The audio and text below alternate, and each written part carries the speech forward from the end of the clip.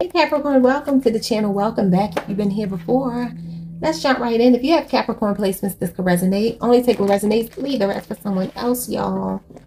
How are y'all feeling? I hope you're amazing. All right, y'all. So this could be past, present, or future energy. Could also be someone else's energy in your energy field. So please only take what's yours. Leave the rest for someone else. Don't try to force it if it's not your story. Let's get one card to start your reading. A fortune cookie prediction for my Capricorn. Commitment. Thank you, the third group today to get that. It says a commitment is indicated around love or business. It will make you feel better. I think Leo got, no, not Leo. I can't remember who got this. I don't remember. Was it Gemini? I don't know. Let's get into it. Might have been Scorpio. We have Sweet Dream. This person is going to be your dream come true. It says satisfaction, comfortable, and lazy day. I feel like this is somebody who's going to make your life completely um, calm, peaceful, and much easier. Somebody's coming in to help you carry the load. Like if you've been stressing and been single and or maybe in a look at this, it's an eternal love. I feel someone very positive coming. They could be 39 or 50 years old, or those numbers could be relevant, 39 or 50, maybe your age. And then we have the number 41 here with idea. Hmm. Could be a Libra, Aquarius, a Gemini. Could be a Cancer. Could be a Scorpio. Okay, I can't see this card. It says, oh, what does that say? Y'all, I can't see.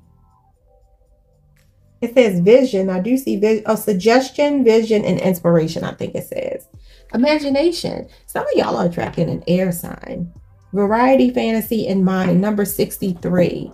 Could have been born in 1963, could be 63. There's a commitment coming in here. I feel like somebody you could be somebody you work with. They could be thinking about you at work if you don't work with them. They could be dreaming about you at night. I do feel them daydreaming about you. They see you growing old with them. I love it. Okay, let's see Capricorn. Beautiful. Beautiful. Oh, wait. This is going to shock you. Some of y'all definitely work with this person. Three of Pentacles could be a Capricorn, another Capricorn. This person wants commitment, whoever they are. They're not playing around. They want to collaborate with you. Some of you is going to shock you. Scorpio, Aries energy, Cancer energy, because it's coming in very quick. Two major arcana. They want to build generational wealth with you. A lot of them, they think you're very smart. That's why you got this thing about the mind, bright idea. Like this person thinks you're very imaginative and smart. They're drawn, this is why I say it's an air sign. They're drawn to your mind. Whoever this person is, they see you either running a business or they work with you. Something about your business acumen, you're like business savvy. They feel like they can actually build something with you. Like y'all could work together or um start a business together. Ooh, wait. Virgo energy. Anything else they want to say?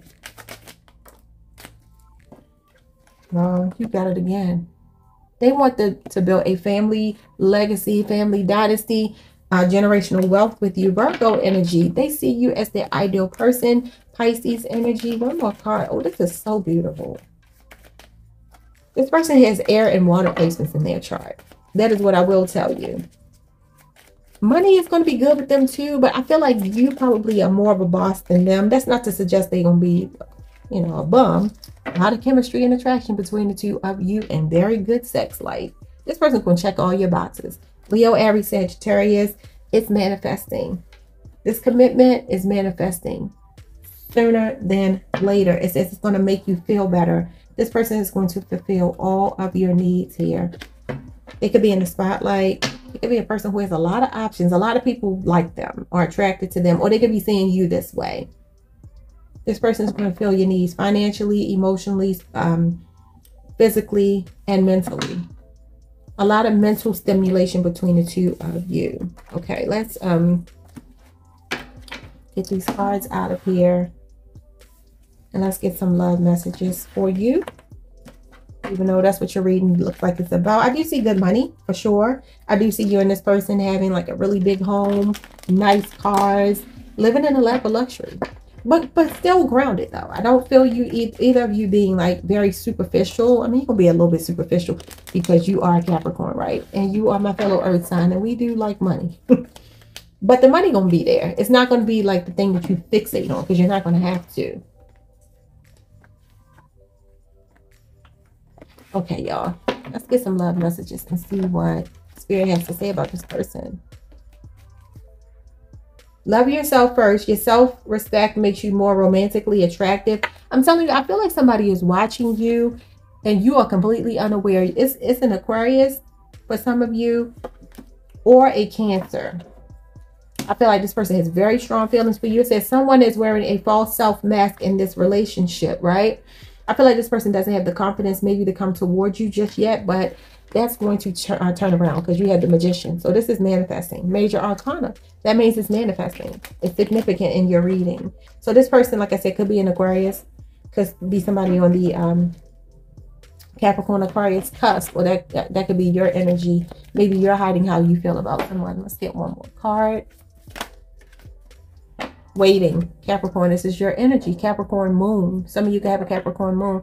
It says anticipation from waiting but worth the wait. Yeah this person i do feel like this commitment is right there. You already know the person but they're just maybe not speaking up or you're not expressing yet it says passion lived fully, but without frenzy, not overwhelmed, savoring the moment. This person just watching and taking their time and waiting.